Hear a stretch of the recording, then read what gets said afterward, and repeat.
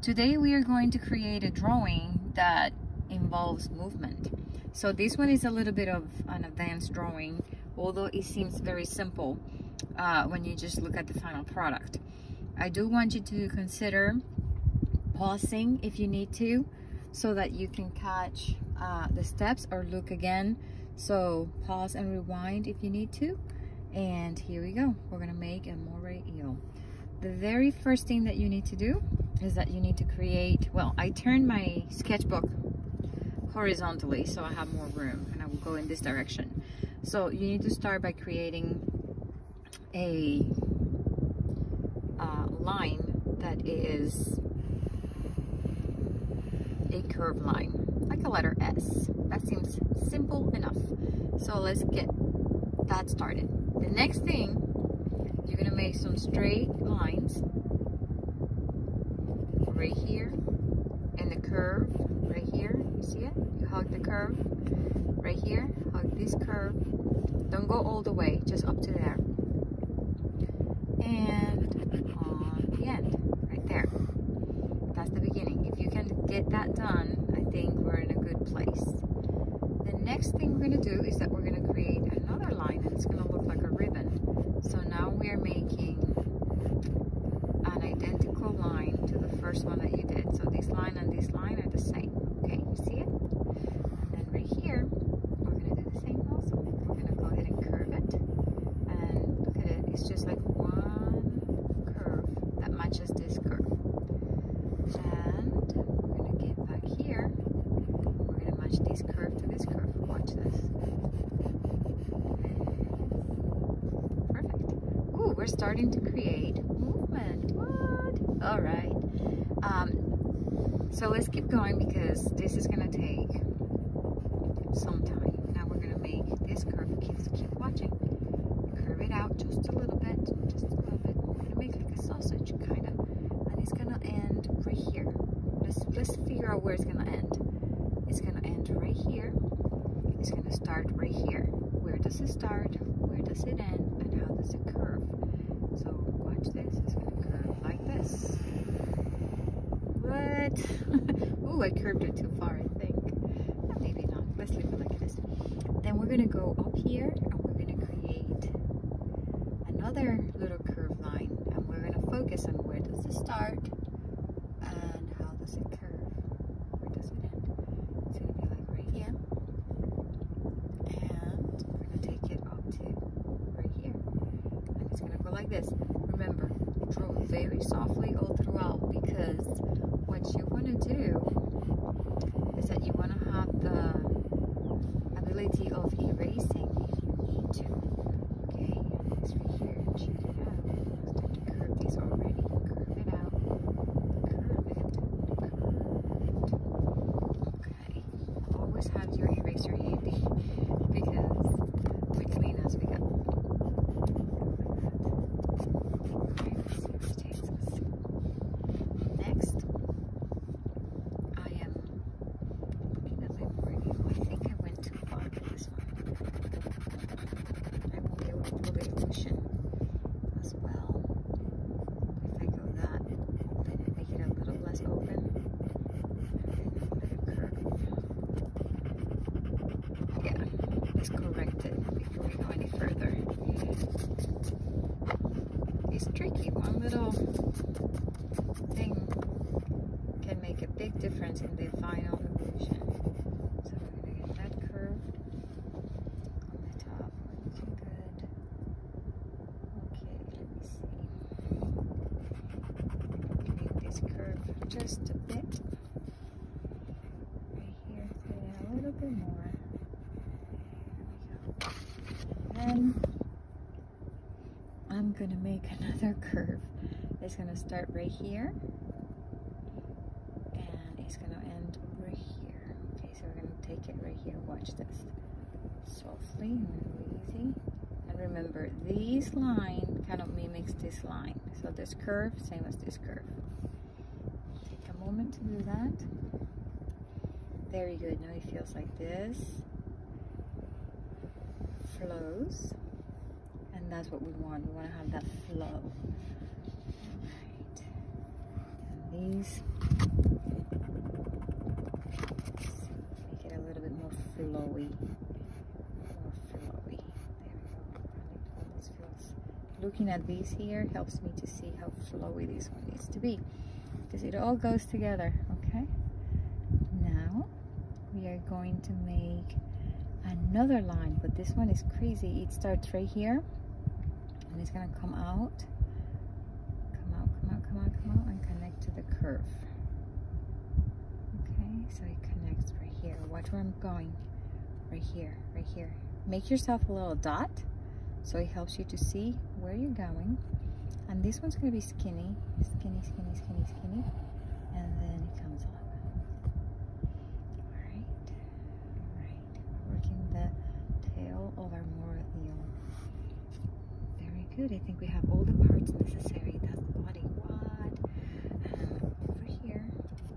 Let's make an angle.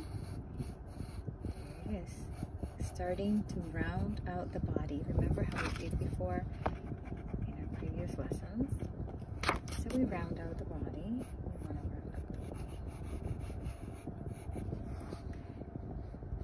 Then we want to open up the mouth. Right there, I think it's good. And we're gonna make an eye. There she goes. And we're starting to look like some something curvy. I'm gonna round out the body back here too. Take away this straight line and this line right here is it's gonna connect to this line right here. I know it's so tricky. It's right here. I think I'm gonna make these a little bit more flowy so it feels like it flows. Watch. I'm adjusting it so it feels like it goes with this. See it? See the adjustment I just made? If you catch yourself, um, making some mistakes, take some pause, fix, restart, rewind. It's all good. We're practicing how to make moray eel and how to make it look how it's moving. A little bit more like an organic shape. So we needed the hard edges, the hard lines to get started. But after all that is done, then you can start to curve, curve things out a little bit more. See, I'm gonna curve, curve that corner. And this is all curved here. Ah, there we go. And then I'm gonna clean up the mouth.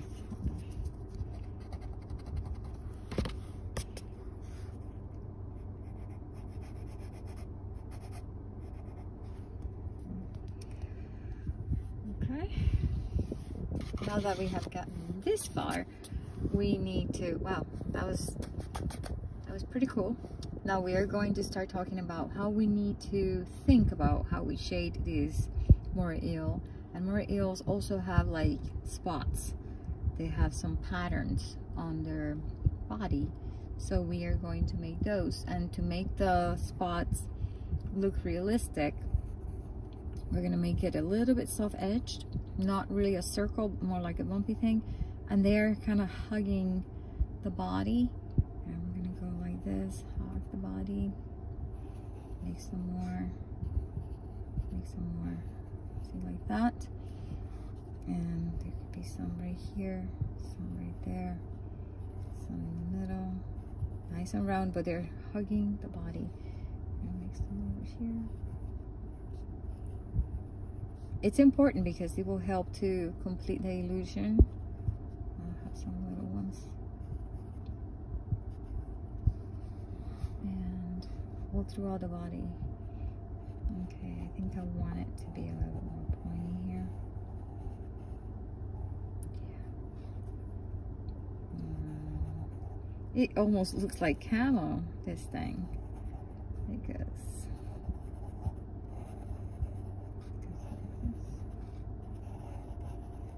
Bigger sections, smaller sections, um, ones, organic looking ones. Okay, just have fun with this part, okay? And this happens all throughout. So you gotta keep making them. I try to do the main part of the body first. Um, because I find that helpful.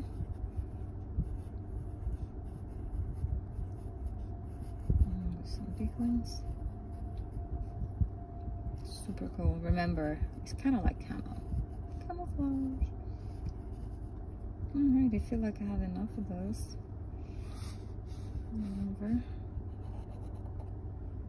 Okay. I'm gonna make the eye. There So you can see it. Very good. Woo! Now the next thing we have to do is actually to shade um, these moray eels so that it does look three-dimensional. Remember to shade with the side of the tip, nice and softly, bring it in slow. And you don't want to go just shade straight out like this. You want to follow the contour of what you're shading. So I'm to start right here because of that. And I'm gonna not think too much about the spots right now. I'm just thinking about shading the bottom part right here. See? And I'm gonna shade all the way to here. I just did my first soft layer of shading. Let's see if I'm happy with it. Okay.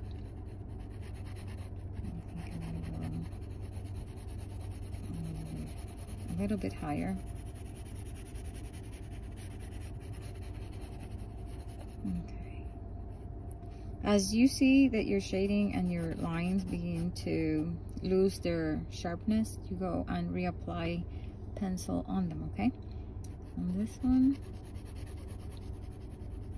apply just a very slight slight little bit of shading down here but I do need some right here let's do this together and we're doing one little layer of shading on everything kind of giving ourselves a little roadmap for what's to come down here I will be shading from here. It's a little bit above the line. Above the line.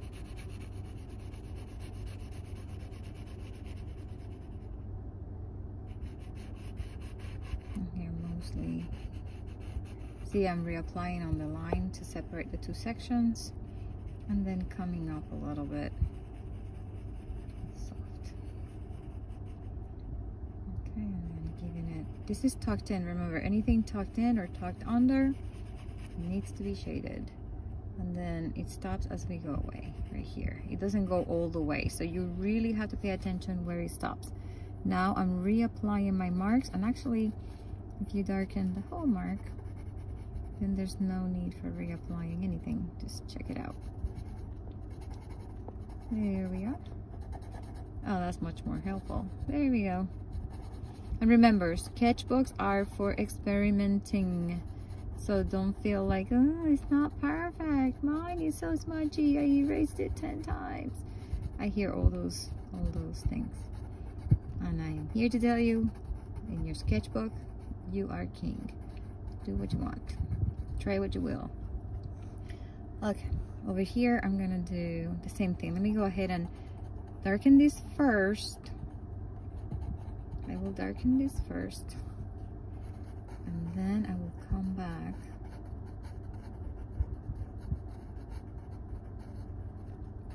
And do the shady part so I don't lose the definition and I don't get confusion. So now that I have my heavy marks now I feel more comfortable to go over here okay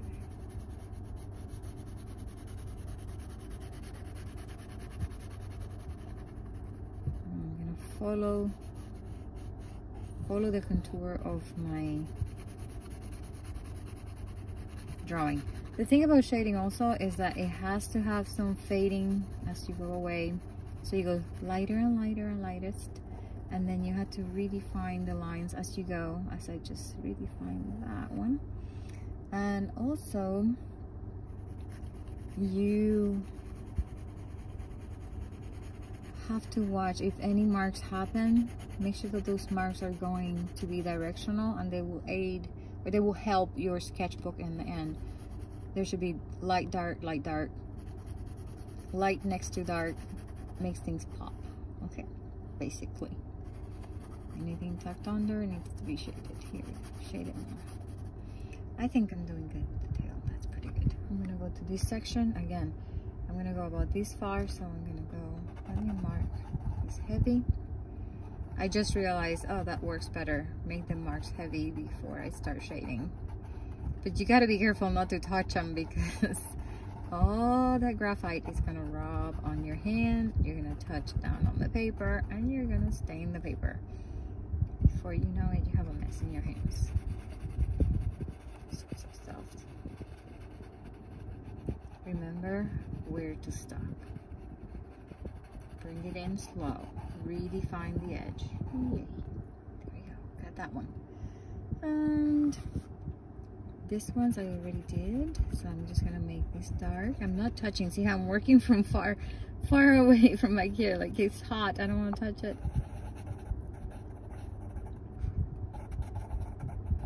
because I don't want that graphite in my hands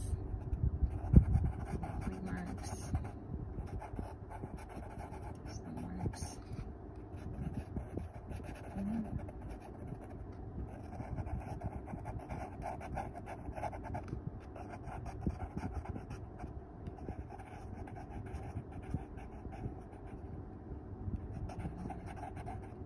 It's so easy to make these marks now since I already did them. And all I have to do is like, since I drew the marks, I just had to like shade them, color inside them with the pencil, basically.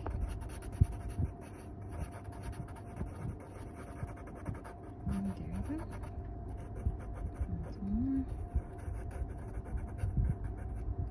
Okay, starting to look good. All right.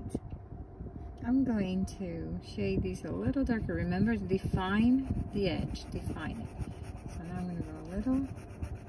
I don't have to go so heavy now because I already have the first layer. Remember, the blending is key. So a little blending going on here. Define the corner here, the curve. Slowly, softly bring it in. It's very satisfying to go in here and see how it starts to pop.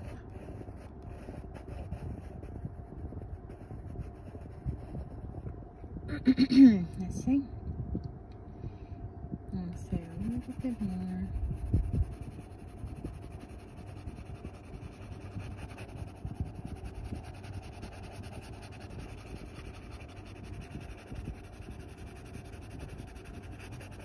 As you get closer to the edge, it gets darker. As you get closer to the middle, it gets lighter. And as you come out here, it gets darker again because it's the separation of sections.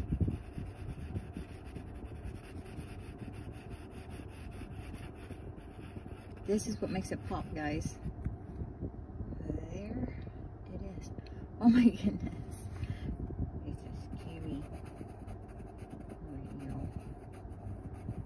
Oh, perfect. At this time, you need to clean up any smudges or anything like that that you may have on the page. I don't think I would have done too much more. this one, it, it was a long, a long one because the shading does take time and I had to explain. So now you know, I know. This is called